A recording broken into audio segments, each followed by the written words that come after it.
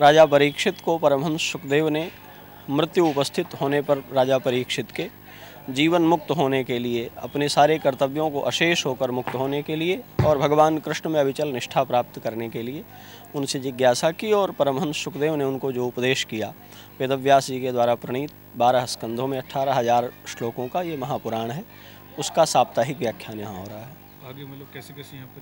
किस किस दिन क्या क्या होगा उसमें क्रमशः सात दिनों का क्रम बना हुआ है। पहले दिनों में मनुकर्दम संवाद पर्यंत होता है, दूसरे दिन ऋषभाख्यान पर्यंत होगा,